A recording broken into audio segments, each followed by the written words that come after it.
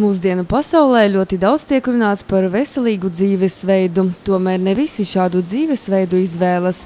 Kāds pasludina karu pārēšanai un kaitīgiem ieradumiem, bet kāds, neskatoties uz mediķu ieteikumiem, katru reizi jaunas dzīves sākuma atliek uz pirmdienu. Ko par to domā mūsu pilsētas iedzīvotāji un vai ikdienā seko veselīgam dzīvesveidam? Стараемся следить за своим здоровьем. Cenšamies sekot līdzi savai veselībai, kādi tomēr paņem savu. Neviens cits mūsu vietā neko nedarīs. Paši priekš sevis nākam šeit un nodarbojamies ar sportu. Cenšos pēc iespējas ievērot veselīgu dzīvesveidu, tomēr mans darbs ir sēdošs. Ārpus darba laika cenšos darboties vasarnīcā, man tas patīk. Ar bērnu aktīvi atpūšamies, spēlējam dažādas spēles ar bumbu, vasarā peldamies ezerā. Augstā gada laikā apmeklējam baseinu, sporta zāli. Reizi nedēļā tomēr kaut ko cenšamies darīt. Aizvien vairāk cilvēku apzināti atsakās no veselīga dzīvesveida veicināšanas. Pie šāda secinājuma ir nonākuši starptautiskie eksperti. Tiesa pēdējos gados situācija lēnām sāk mainīties uz labo pusi, tostarp arī Daugaupilī. Daļēji tas ir pašvaldības nopelns, kura kā vienu no savām prioritātēm izvirzīja publisko sporta objektu un atpūtas vietu infrastruktūras attīstību. Pēdējo trīs gadu laikā šādu projektu mūsu pilsētā tika realizēts daudz.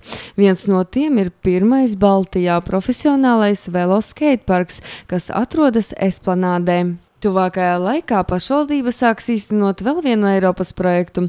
Tā galvenais mērķis ir uzlabot iedzīvotāju veselības stāvokli un veikt slimību profilaksi tiem, kam nepieciešama ne tikai materiālā palīdzība, bet arī sociālā aizsardzība. Pašvaldībai šobrīd ir pieejami Eiropas Savienības struktūra fondu līdzekļi veselīga dzīvesveida profilaksai un veselīga dzīvesveida veicināšanai. Un, protams, ja mēs skatāmies uz profilaktiskiem pasākumiem, tie ir tie pasākumi, kas ir saistīti ar primāro veselības profilaksi. Un, tā kā mērķa grupa ir sociāli mazaizsargātās grupas vai riskam pakļautas, sociālajiem riskam pakļautās grupas, tad, protams, ka mēs redzam, ka ir jā, jāstrādā ar tieši ar tām personām, kurām šobrīd nav pieejami veselības pakalpojumi, kuri varbūt ļoti vēlu aiziet pēc konsultācijām pie ģimenes ārsta vai pie speciālistu, jo viņiem trūkst līdzekļu. Šajā gadījumā runājiet par iespēju saņemt bezmaksas speciālistu konsultācijas, piemēram, ginekologa, urologa, onkologa un citu. Bez tam projekta ietvaros tiks īstenoti daudzi semināri, apmācības, lekcijas, izglītojošas tematiskās aktivitātes, kas veltītas veselīgam dzīvesveidam. Šobrīd, izvērtējot situāciju par to, kāda ir veselības stāvoklis pilsētā. Protams, ka ir redzams, ka gan jaunatnei, gan pusmūža cilvēkiem ir problēmas ar lieko svaru. Un, protams, tas parāda to, ka cilvēki nav aktīvi un cilvēki nerūpējas par savu veselību ikdienā.